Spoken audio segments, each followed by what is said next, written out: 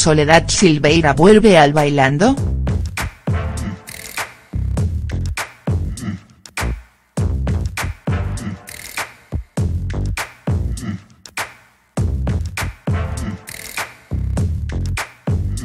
Luego de la catarata de críticas que recibió por parte de Moria Kazan, a quien prácticamente ignoró, la actriz podría regresar al programa de Marcelo Tinelli, según indica la pavada del diario Crónica. ¿Vuelve al bailando? Entra a la nota.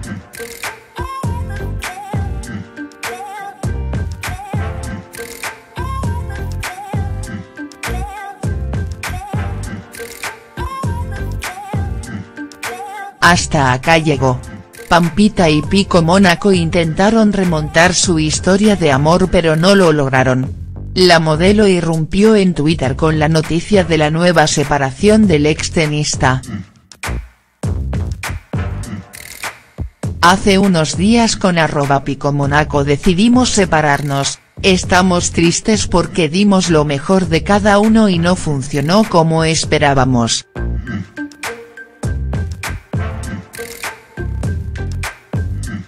Escribió la modelo, que se había reconciliado con Mónaco hacia fines del 2018, recibiendo el 2019 juntos en Punta del Este.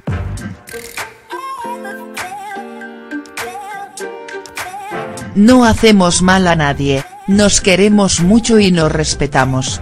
Espero que nos dejen vivir este momento en paz, sin mentiras o falsas especulaciones, escribió Pampita. Se van sumando actores y actrices para el reparto de El Tigre Verón, que protagonizarán Julio Chávez y Andrea Pietra, cuyas grabaciones comienzan el 11 de febrero en exteriores. Fue elegida Muriel Santana como la fiscal que investiga al sindicalista Iván, además de Marco Antonio Caponi, Alejandra Fleckner y Manuel Callao.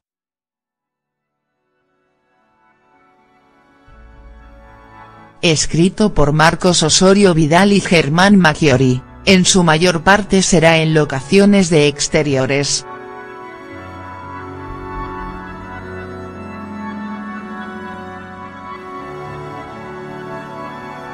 En Mar del Plata, Solita Silveira le restó total importancia a los tweets de Moria Kazan, a quien invitó a ver Cartas de Amor, que realiza con Facundo Arana. Con respecto a su posible regreso al jurado del Bailando, nada de verdad en el asunto, al menos hasta ahora.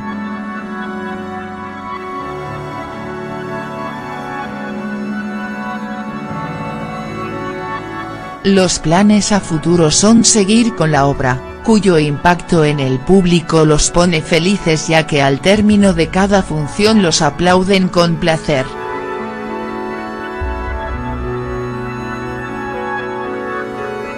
Enemiga de los conflictos gratuitos, la Silveira no piensa en darle pasto a nadie para armar un escandalete.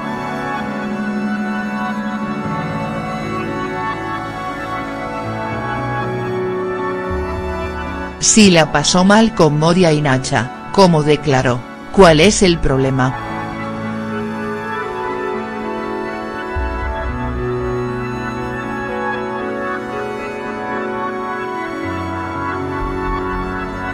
El domingo viajaron en avión de línea y en primera, obvio, Susana y su hija Mecha rumbo a Nueva York.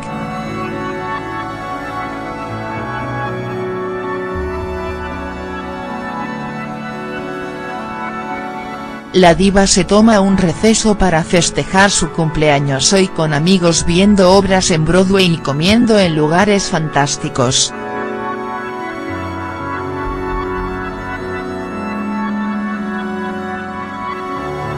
De ahí viajará a Miami, ya que este 2019 se la pasó en Punta del Este, y luego volverá a Buenos Aires.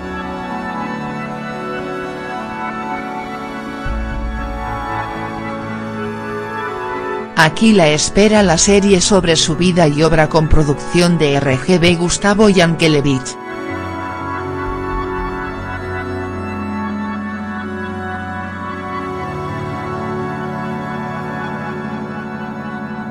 Ya en la formación del equipo de autores que escribirán la biopic, y en el segundo semestre su programa en formato original, no los especiales. Ver más en páginas 18 y 19. Muy contento está Mauricio Dayub que, en un momento difícil para los actores, logra llenar su propia sala chacarerean con el espectáculo.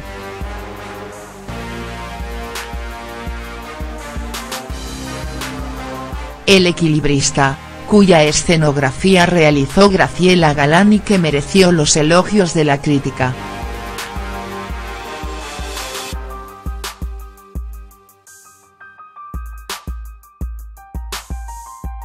Por otra parte, firmó contrato con Amazon por seis meses para interpretar al ex suegro de Maradona, Roque Coco Villafañe, y empieza a grabar mañana junto a Laura Esquivel en la casa de Devoto.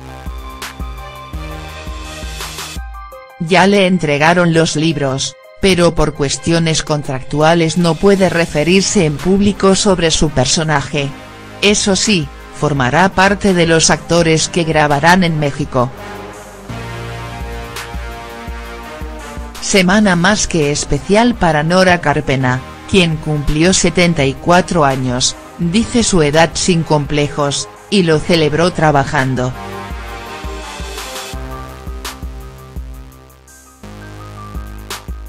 Al terminar su participación en Incorrectas en América, ya sin Agustina K. con diéresis Mfedi siempre al lado de su amiga Moria, se fue al Lola Membrives.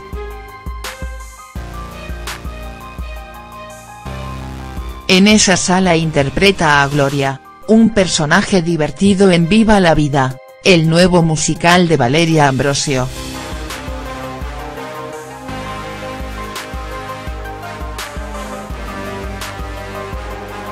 La gran emoción fue que tras la función sus nietos subieron al escenario con una torta y junto al público le cantaron el feliz cumpleaños.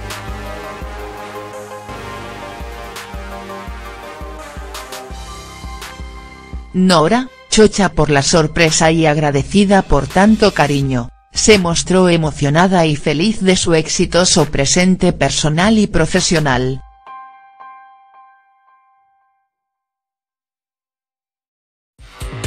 Viaje relámpago para Diego Ramos. El actor devenido en director, que se encuentra protagonizando Locos por Luisa en Carlos Paz, donde termina el 6 de marzo, viajó a Buenos Aires en su día de descanso. Lo hizo para tomar las audiciones de Los Fantásticos, el próximo musical que dirigirá con el protagónico del barítono Juan Rodó que se estrenará en abril en el Cultural San Martín.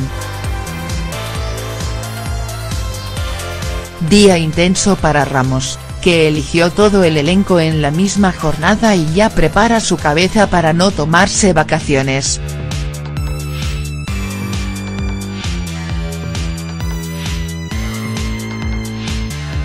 ya que al regreso de la temporada de Carlos Paz deberá comenzar a full con los ensayos. Buena racha.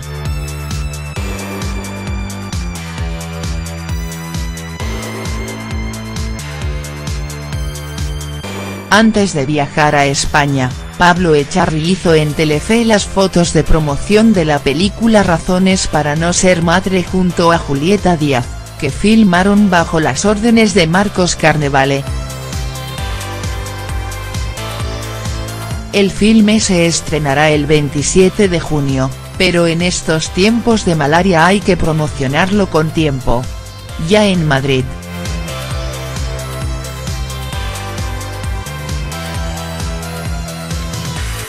Echarri y la española Alejandra Jiménez protagonistas de Atrapa al ladrón, se encuentran rodando con el director Javier Olivares, el Ministerio del Tiempo la versión de Alfred Hitchcock en formato miniserie de 10 capítulos. También se encuentra en la madre patria Cecilia Roseto y en una semana regresan para continuar aquí, en locaciones elegidas de cara a la realización.